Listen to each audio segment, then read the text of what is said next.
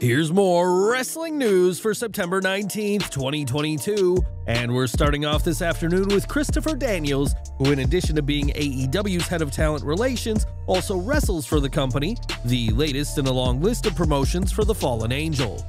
In addition to AEW, Daniels has competed for Impact, ROH, WWE, WCW, Chikara, AAA, and many other promotions, but his days in the ring are numbered. On Twitter, Daniel said he may be the only person to work for all these veteran promotions, adding that he is getting close to the end of the in ring part of his wrestling life.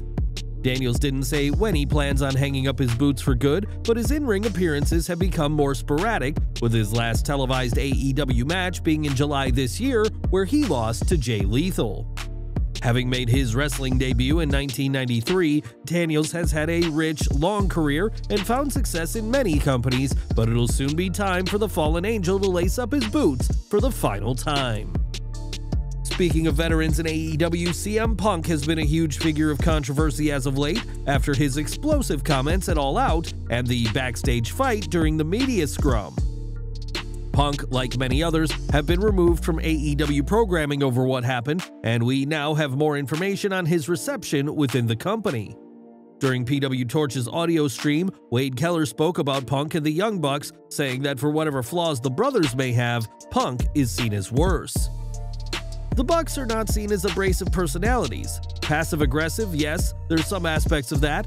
They're not seen as People who don't like Punk have more negative things to say than people who don't like the Bucks have to say about them in terms of their characterization.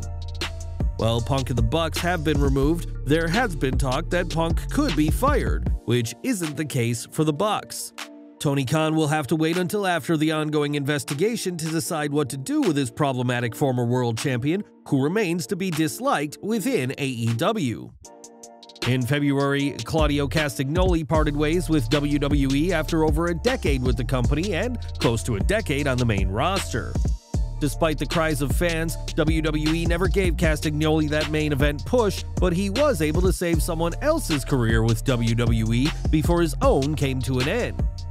Sitting down with Insight, Castagnoli spoke with Chris Van Vliet and said that while in FCW, WWE weren't too interested in Mike Dalton, the man who would go on to become Tyler Breeze. Castagnoli explained that all this changed when they faced off September 22, 2011, and when Claudio delivered an uppercut which Dalton sold incredibly, it increased the promotion's interest in the future Prince Pretty.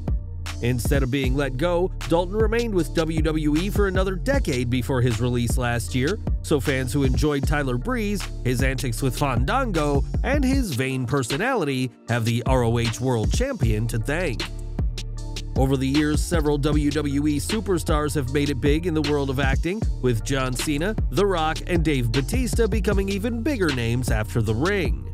Now, Kofi Kingston is looking to take his own steps into the world of acting and is hoping to do so with a huge project from Marvel.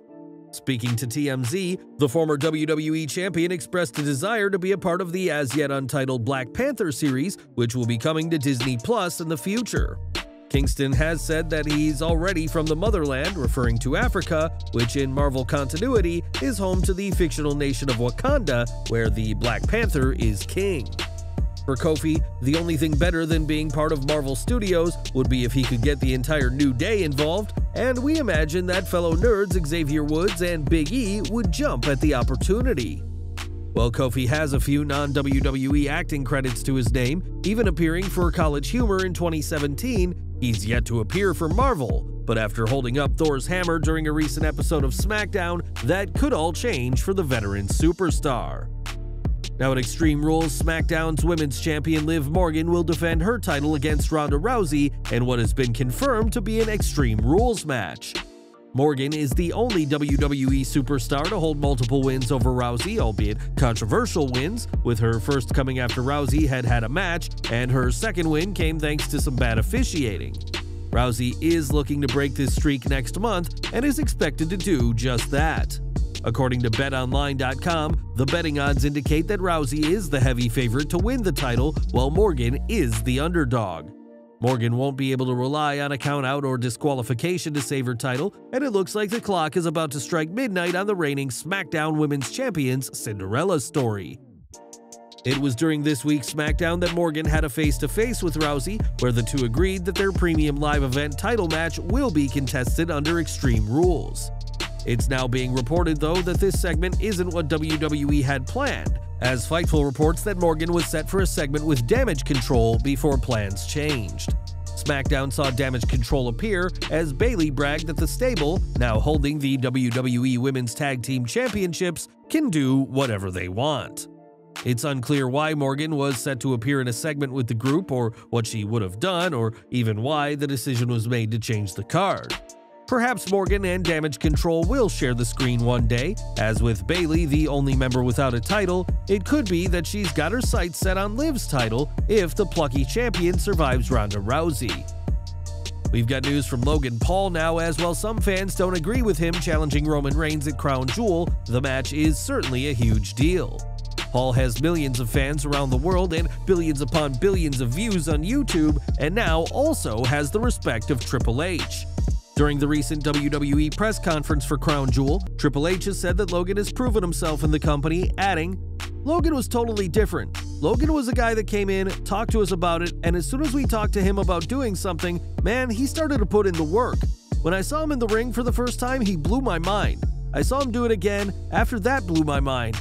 This is the guy, as I said earlier, earned my respect. In this business, I do not give my respect very easily. He has earned that, and it is why he is here.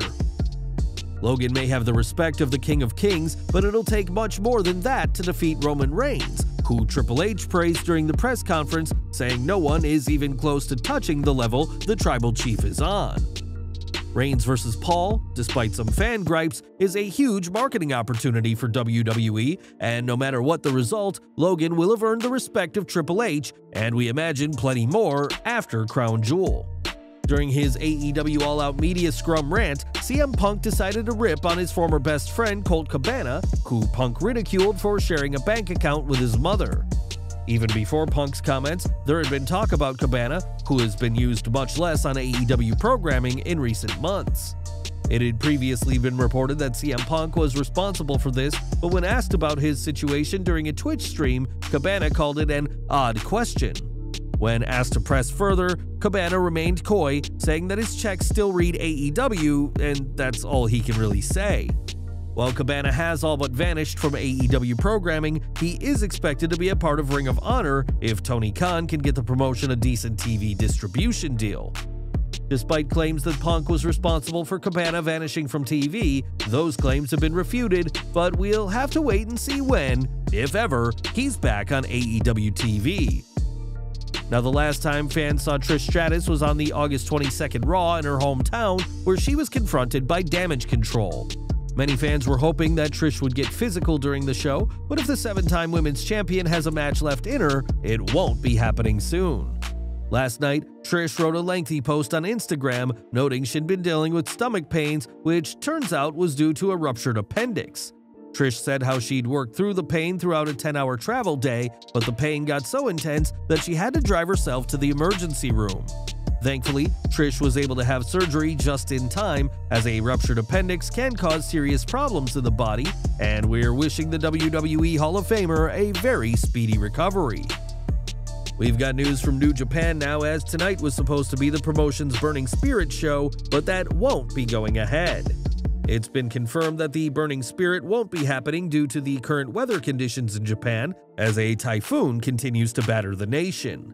This is the second show in a row to be cancelled, as last night's event was also cut due to Typhoon Nanmadol, which has made contact with Japan's Kyushu Island, forcing citizens to evacuate. A stacked card had been promoted for tonight's event, but these matches will have to be scrapped or rescheduled, and we certainly hope that everyone keeps safe from the ongoing typhoon. And we're ending with WWE as when superstars step into the ring, they know the risks they're getting themselves into, but it's not just the wrestlers who will leave the squared circle worse for wear. Often, referees are expected to take bumps in the ring as part of the story, but what happened at a recent live event wasn't planned. One match saw Drew McIntyre team with the New Day to face Imperium, but this was bad news for Charles Robinson. The veteran referee was officiating the bout, Drew lifted Ludwig Kaiser onto his shoulders and spun him around, and the German superstar accidentally booted Robinson square in the face. Despite this, Robinson continued the match and later took to Twitter to say that Drew McIntyre is a beast and that Kaiser's big foot seriously hurt. Having refereed for decades, the man known as Little Naitch has taken plenty of bumps, but what happened this past weekend was not meant to be part of the show. Well, guys, that's our news for today. Please share your comments below. Also, hit the like button, subscribe to our channel, and hit the bell icon to receive all notifications. And as always, thanks for watching.